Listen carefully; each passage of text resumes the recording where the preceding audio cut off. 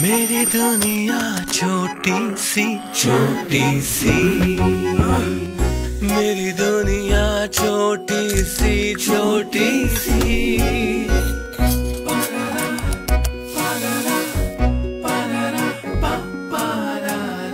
मेरी दुनिया दुनिया दुनिया। छोटी सी। मेरी